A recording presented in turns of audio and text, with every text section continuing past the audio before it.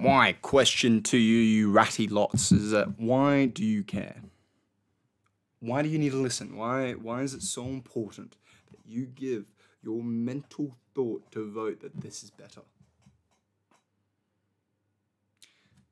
Like, in the end, everything that you do, you're voting for something. You're voting to give to something. Your focus, your attention is something that's very precious.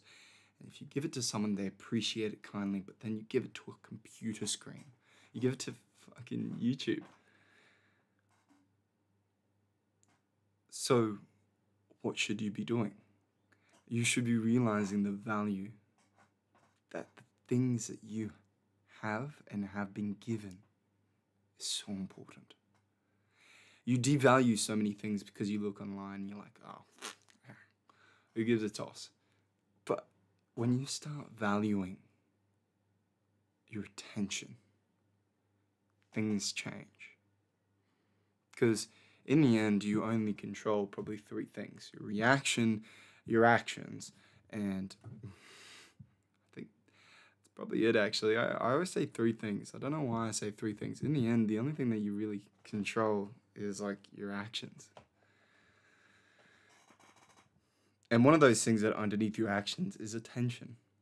What do you focus on? What do you give your attention to? People, you know, give this ADHD thing a lot of tries, and it's like, you know, phones are really realistically causing it a lot because we get a dopamine hit. We're basically on a drug, TikTok brain, everyone calls it. But why does it matter? Why do you need to give your attention?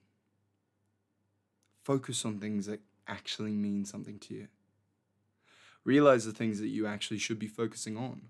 Have your main purposes and goals. Have the things that you're grateful for. Have the things that have been given to you.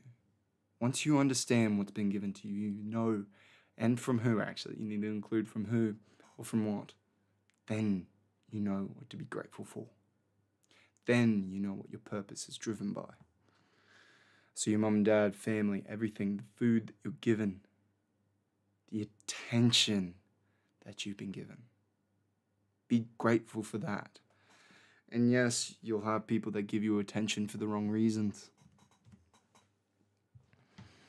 And that's where wisdom and virtue comes in involved. But at the moment, you know, realize the value of your attention. Give it to those that matter. Thank you and bye.